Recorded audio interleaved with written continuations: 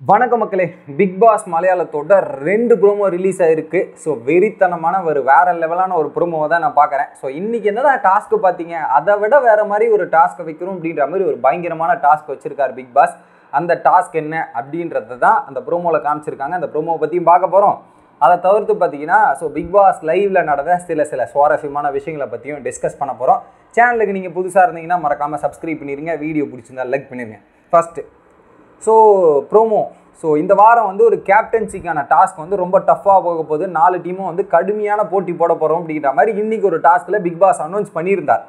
அதுக்கேற்ற மாதிரியே ரெண்டாவது டாஸ்க்கும் வேறு லெவலான ஒரு டாஸ்க்கு ரணபூமி அப்படின்றது தான் டாஸ்கோட பேர்.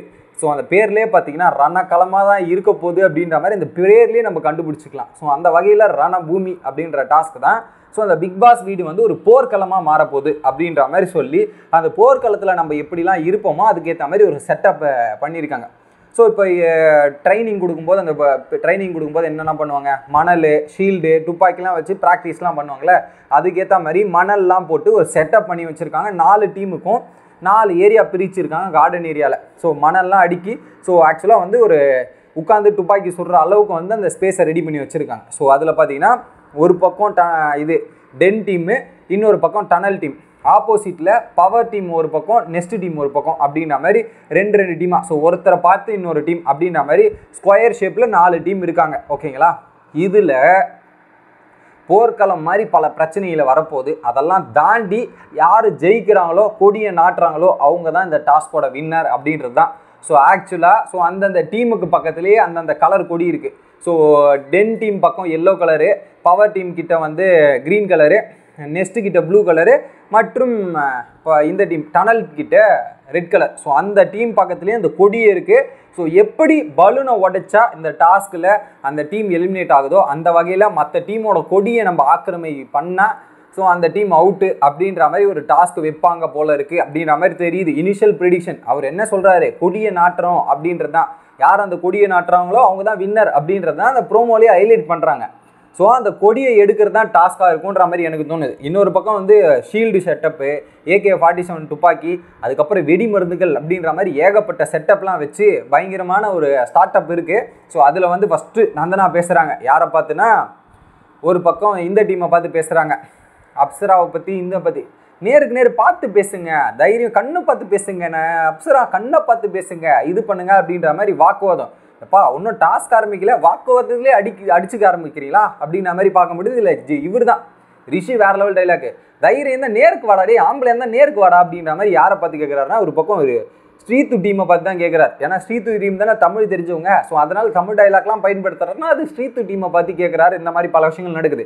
ஸோ அதில் வெடி மருந்துங்களில் வந்து பாம்பு கிம்லாம் செட்டப் இருக்குது போல. ஏகே ஃபார்ட்டி செவன் ஷீல்டுலாம் இருக்கும்போது அது ஒரு பொட்டி இருக்குது ஸோ அதில் வந்து புல்லட்டு இந்த அணுகுண்டு மாதிரி வச்சுக்கிட்டு மணல் வச்சுருக்காங்க போல். ஸோ அதை தூக்கி ஆப்போசிட் டீமில் அடிப்பாங்க. ஸோ ஆப்போசிட் டீமில் அடிக்கும்போது அவங்க அடிக்காமல் தடி வாங்காமல் தடுக்கிறதுக்கு ஷீல்டுலாம் கொடுத்து அதை தடுக்கிற மாதிரி ஷீல்டு ப்ரொடெக்ஷன் இந்த மாதிரிலாம் இருக்குது ஸோ அட் அ டைமில் எந்தெந்த டீம் யார் அடிக்க போகிறாங்கன்றது தெரில ஸோ நேருக்கு நேர் மட்டும் சண்டை போட்டுக்கணும்னு நினைக்கிறேன்.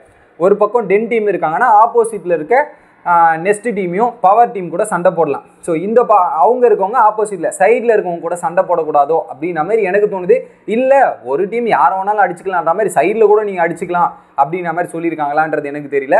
பட் அந்த செட்டப் இதெல்லாம் பார்க்கும்போது நாளைக்கு வேற லெவலான ஒரு சம்பவம் வேறு லெவலான டாஸ்க் இருக்க போதுன்ற மாதிரி இனிஷியல் ஃபீலிங் எனக்குள்ளே இருக்குதுங்க. ஏன்னா எனக்கு தெரிஞ்சு ஸோ பிக் பாஸில் இந்த மலையாளத்தில் நடந்ததில் ஒரு ஒன் ஆஃப் த பெஸ்ட்டு டாஸ்க்காக இருக்கும் அப்படின்ற மாதிரி எனக்கு ஒரு இனிஷியல் ஃபீலிங்காக இருக்குது நல்ல டாஸ்க்காக வந்து ஸோ டைமிங் வந்து லென்த்து பண்ணணும். சிம்பிளாக ஒரு ஒன் ஹவரில் முடிகிற மாதிரி ஒரு அரை மணி நேரம் முடிகிற மாதிரி அந்த டாஸ்க் வச்சா இன்ட்ரெஸ்டிங்காக இருக்காதுங்க. எப்படி லக்ஸரி பட்ஜெட் டாஸ்க் வைக்கிறீங்களோ அந்த மாதிரி டைம் எக்ஸ்டெண்ட் பண்ணி வச்சிருந்தீங்கன்னா கொஞ்சம் இதுவாக இருக்கும். லக்ஸரி பட்ஜெட் டாஸ்க்கை பொறுத்தவரை என்ன இருக்குன்னா வீக்லி மூணு நாள் நடக்கும்போது ஸோ மொமெண்ட்டு மாறி மாறி இன்றைக்கி நான் ஜெயிக்கிற மாதிரி இருப்பேன். நாளைக்கு நீங்கள் ஜெயிக்கிற மாதிரி இருப்பீங்களே ஸோ அந்த மாதிரி இந்த டாஸ்க்கை அன்றைக்கி டே ஃபுல்லாக கொஞ்சம் எடுத்துகிட்டு போனால் கொஞ்சம் பார்க்குறதுக்கும் இன்ட்ரெஸ்டிங்காக இருக்கும் சுவாரஸ்யமாக இருக்குன்றது தான் என்னோட ஃபீலிங்கு இதெல்லாம் வந்து ப்ரோமோ ஒனில் காட்டப்படுது.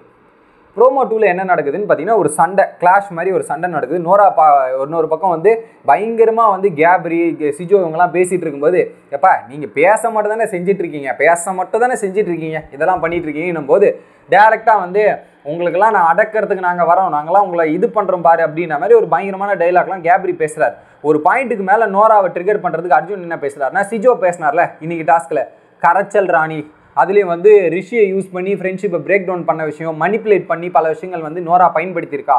ஸோ மணிப்புலேஷனை வச்சு கேம் விளாட்றா அப்படின்ற ஒரு விஷயத்தை சிஜோ சொன்னார்ல. அந்த ஒரு விஷயத்தை எடுத்து மணிப்புலேஷன் பண்ணுறா நோரா அப்படின்ற மாதிரி அர்ஜுன் பேச ஆரம்பிக்கிறாரு. அர்ஜுன் இண்டிவிஜுவலாக ப்ளே பண்ணுங்க. உன் டீம்மேட் சொல்கிறான்றதுக்காக பண்ணுறது ரொம்ப தப்பு. ஸோ இந்த விஷயத்தை வந்து பேச ஆரம்பிக்கும் போது நோரா சொல்லிடுறாங்க நீலாம் இப்போ பேசாத. யார் மக்களுக்கு தெரியும். நான் என்ன பண்ணுறேன் ஏது பண்ணுறது மக்கள் எல்லாத்தையுமே தெல்ல தெளிவாக பார்த்துட்டு இருக்காங்க. நீ இதெல்லாம் பற்றி பேச வேணாம். அப்படின்ற மாதிரி அங்கே ஒரு வாக்குவாதங்கள் அங்கே ஒரு பக்கம் கான்ஃப்ளிக்ட் போயிட்டுருக்கு அந்த ஒரு விஷயம் அங்கே வந்து மாற்றி மாற்றி பேசிகிட்டு இந்த ஒரு விஷயம். நோராவா? இல்லை சிஜோ டீமா? அப்படின்ற மாதிரி ஒரு வாக்குவாதம்லாம் போயிட்டு இருக்கிறது பார்க்க முடிஞ்சு இது முடிஞ்சோடனே இன்னொரு பக்கம் என்ன அப்படின்றது பார்த்தீங்கன்னா நந்தனா வந்து ஜாஸ்மின் டீமுக்கு எதிராக வாக்குவாதங்கள். ஸோ இது ஏதோ ஒரு அக்ரிமெண்ட் டீல் ஏதோ போட்டிருக்காங்க போல இருக்கு. ஏதோ நீங்கள் வாக்குறுதி கொடுத்தீங்களே என்ன இது அப்படின்ற மாதிரி நந்தனா கேட்குறாங்க அந்த வாக்குறுதி வந்து கொடுத்தது யாராக இருக்கும்? ஒரு பக்கம் வந்து டீல் பேசினது வந்து இவராக தான் இருக்கும். ஜின்டோவாக தான் இருக்குமே தவிர ஜாஸ்மின் இவங்கெல்லாம் வந்து போய் டீல் பேசினாங்களா தெரியல. ஜின்டோ தான் அந்த டீலிங்லாம் பேசி இன்றைக்கி ஒரு டாஸ்கில் டீல் பேசி தோத்தார்ல. அந்த மாதிரி செஞ்சுருப்பாரே தவிர ஜாஸ்மின் சீத்து இவங்கெல்லாம் போய் பேசியிருக்க மாட்டேன்னு நினைக்கிறேன். ஸோ அதில் வந்து ஒரு பக்கம் நந்தனாக்கு ஜாஸ்மினாவே பிடிக்காது. இதில் தெளிவாக நோட்டீஸ் பண்ணிங்கன்னா நந்தனா வந்து ஜாஸ்மின் பேசினா மட்டுமே ட்ரிகர் ஆகி பேசுகிறாங்களே தவிர அதை தவிர்த்து நோரா பேசும்போதோ சரி மற்றவங்க யாரும் பேசும்போதும் சரி அந்த ஆக்ரோஷமோ அந்த ஒரு இதுவோ நந்தனா கிட்ட அந்த இது வருது பார்த்தீங்களா அந்த மாதிரி விஷயங்கள் வந்து வேற யாருக்கிட்டையுமே காட்டுறதில்ல. ஒன்லி ஜாஸ்மின் கேட்டால் மட்டும் ஜாஸ்மின் பேரை சொன்னால் மட்டும் பொங்கி வராங்க நந்தனா. அந்த ஒரு விஷயத்தையும் கிளியராக பார்க்க முடிஞ்சு இதில் டீலிங் பேசியிருக்காரு போல். இதில் டீலிங் போட்டும் இதில் விளையாடிருக்காங்க ஃபஸ்ட்டு டாஸ்க்லேயே டீலிங் போட்டு தான் விளையாடினது. ஒரு பக்கம் வந்து சிஜோ டீமை காலி பண்ணுறதுக்கு டீல் போட்டாங்கல்ல ரிஷி டீமும் பவர் டீமும் டீல் பண்ணி தான் ஒரு பக்கம் வந்து சிஜோவை இது பண்ணாங்க. அது ஒரு கேம் பிளே அந்த மாதிரி இதுலேயும் டீலிங் போட்டு டீலிங் போட்டு கேம் விளாட்றாங்க ஸோ இதுலேயும் இண்டிவிஜுவலாக கேம் விளாடுங்கப்பா அப்போ தான் இன்ட்ரெஸ்டிங்காக இருக்கும். டீல் பேசி மூணு பேர் சேர்ந்து ஃபஸ்ட்டு அவனை தூக்கிடலாம். அடுத்து நம்ம சண்டை போட்டுக்கலான்ற மாதிரி எல்லாம் டீல் போட்டு டீல் போட்டு பண்ணிங்கன்னா என்னங்க கேமில் இன்ட்ரெஸ்ட் ஆகும்? ஸோ கேம் இன்ட்ரெஸ்ட் ஆகிறதுக்கு தனித்தனியாக விளையாடுங்க. அதுதான் இன்ட்ரெஸ்ட்டாக இருக்கும். டீல் போட்டு மூணு பேர் சேர்ந்து ஒருத்தனை அட்டாக் பண்ணுவோம் அவனை தூக்கிடுவோம். அடுத்து நம்ம ரெண்டு பேர் சேர்ந்து ஒருத்தனை தூக்குவோம். அடுத்து இப்படி நம்ம அடிச்சுப்போன்ற மாதிரி போட்டால் என்ன சுவாரஸ்யம் என்ன இன்ட்ரெஸ்டிங்காக இருக்கும்? தனித்தனியாக அவன் அவன் கஷ்டப்பட்டு ஓடி பிடிச்சி விளையாண்டிங்கன்னா தான் கேம் பார்க்கறதுக்கும் இன்ட்ரெஸ்டிங்காக இருக்கும். சுவாரஸ்யமாக இருக்கும்ன்றது பார்க்க முடிஞ்சு. இன்னொரு கம்ப்ளைண்ட் வேறு வச்சுருந்தார். சி இவர் ஜின்டோ. இன்றைக்கி ஒரு எபிசோடில் சொல்ல மறந்துட்டேன். எபிசோட் ரிவ்யூவில் என்ன அப்படின்றது பார்த்தீங்கன்னா ஸோ அந்த நம்ம டீமில் இருக்கவங்க ரெண்டு பேர் டீமுக்கே விளையாடுறதில்ல ஸ்ரீத்து வந்து அர்ஜுனுக்காக விளையாடுறா ஜாஸ்மின் வந்து கேப்ரிக்காக தான் விளையாடுறா. என் டீமுக்காகவே பர்ஃபார்மன்ஸ் பண்ணல அப்படின்ற மாதிரி ரத்தீஷ் கிட்ட ஒரு டைலாக் வந்து ஜின்டோ சொல்லிட்டு இருந்தேன் ஜின்டோ அவர்களே நீங்கள் அந்த மொதல் டாஸ்கில் நீங்கள் ஒழுங்காக பண்ணாமல் வெளியே போய் டீமுக்குள்ளேயே ஒரு கோஆப்ரேஷன் இல்லாத விளையாடுறது நீங்கள் நீங்கள் ஒரு விஷயமா போய் பண்ணிட்டு அடுத்தவங்க மேலே ப்ளேம் போடாதீங்க. அவங்க அவங்களுக்கு முடிஞ்ச எஃபெக்டை போட்டு கேம் விளையாடிட்டு இருக்காங்க. சிம்பிளாக வந்து அவங்க அவங்களுக்காக இல்லை அவங்க ஆளுங்களுக்காக விளையாடுறாங்கன்ற வார்த்தை சொல்கிறலாம் தப்பு. அவங்க இருக்கிற டீமுக்கு அவங்க முழு எஃபெக்டை போட்டு கேம் விளையாடிட்டு இருக்காங்க. நீங்கள் வேணால் டீமுக்கு கோஆப்ரேட் பண்ணாமல் விளையாடிட்டு உடனே அவங்க மேலே எதனா பழி சொல்லணுன்றது சொல்கிறதுலாம் ரொம்ப ரொம்ப தப்பு. நீங்கள் தான் பல டீலிங் பேசி பல விஷயங்கள் பேசி கேம் விளையாடுறது நீங்கள் தான். அவங்க எது வரைக்கும் நம்ம நம்ம வேலையை பார்க்கலான்றதான் சொல்லிட்டு இருந்தாங்க. இதில் அபாண்டமாக படி போகிறதுலாம் ரொம்ப லாஜிக்கே இல்லாத மாதிரி எனக்கு தோணுது மக்களே. இது ஒரு விஷயம். அடுத்து லைவ் அப்டேட் என்ன அப்படின்றது பார்த்தீங்கன்னா அந்த பேய் பிராங்க் இருக்குது பாருங்கள் வேற லெவலாக இருந்ததுங்க லைவில் பார்க்கும்போது ஜாஸ்மின்லாம் பயங்கரமாக பயந்தாங்க. இதில் வந்து ரத்தீஷ் தான் ஹைலைட் அப்படியே பயந்து பெட்ஷீட்லாம் போத்திக்கிட்டு மூடிக்கிட்டு பார்க்குறது ஒரு பக்கம் சிரிப்பாக இருந்தது. பட் இதில் ஒரு ப்ராங்க்னா என்னங்க? ப்ராங்கோட மீனிங் என்ன? யாருக்குமே தெரியாமல் பண்ணுறது தான் ப்ராங்க் இந்த ப்ராங்க் பண்ண போகிறது வீட்டில் இருக்கவங்க முக்காசி பேசுக்கு தெரிஞ்சிருந்தால் அது என்னங்க ப்ராங்க் இன்ட்ரெஸ்டிங்காக இருக்கும். எல்லாருக்கும் தெரிஞ்சிருக்கவங்க என்ன பண்ணியிருக்கோம் நைட்டு வந்து தூங்கும் போது இவங்க எல்லாம் ட்ரெஸ் பண்ணிவிட்டு இதெல்லாம் பண்ணிக்கிட்டு போய் அட்டாக் பண்ணியிருக்கணும் எல்லாத்தையும் பேய பயமுத்தி எல்லாரும் இது பண்ணதுக்கப்புறம் போய் எழுப்புனதுக்கப்புறம் அது ஒரு ப்ராங்கே வந்து ஒரு ஒரு ரெண்டு பேர் தான் பயப்பட்டாங்க. மற்ற யாருமே பயப்படுற மாதிரி இல்லை. ஸோ ஜின்டோவை போய் பயன்படுத்தின ட்ரை பண்ணால் ஜின்டோ தான் பேய்களை பயப்படுத்துற மாதிரி ஒரு விஷயங்கள்லாம் பண்ணார். இதெல்லாம் பார்க்க முடிஞ்சு எப்பா ப்ராங்கை கூட உருப்படியாக பண்ணுங்க பவர் டீம் சொல்லிட்டு பண்ணுறது ப்ராங்க் இல்லை. சொல்லாமல் உங்கள் இஷ்டம் போட்டு திடீர்னு வந்து பயன்படுத்துறது தான் ஒரு ப்ராங்கு இந்த மாதிரி பண்ணால் என்னத்தை சொல்கிறது அப்படின்ற மாதிரி தான் எனக்கு இருந்தது. இதெல்லாம் அந்த லைவ் இதை தவிர்த்து பார்த்தீங்கன்னா ஃப்ரெஷ்ஷாக வந்து ட்ரிங்க் ஏதோ ஒரு ஸோ நாளைக்கு சர்ப்ரைஸாக வந்து பண்ணுறோன்ற பேரை நெக்ஸ்ட் டீம் வந்து ஏதோ ஒரு சாப்பாடு பொருட்களை வச்சு உணவுப் பொருட்களை வச்சு ஏதோ ஜூஸோ கீஸோ ஏதோ ஒன்று ட்ரை பண்ணிட்டு இருக்காங்க. ஜாஸ்மினுக்கு எதிராக ஜாஸ்மினுக்கு தெரியாமல் பண்ணலான்னு நினச்சாங்க. பட் ஒரு பாயிண்ட்ல ஜாஸ்மின்லாம் கண்டுபிடிச்சி சரி ஏதோ நல்லது பண்ணுறீங்க அப்படின்ற மாதிரி விட்டுட்டு பல விஷயங்கள் நடந்துட்டு இருக்கு.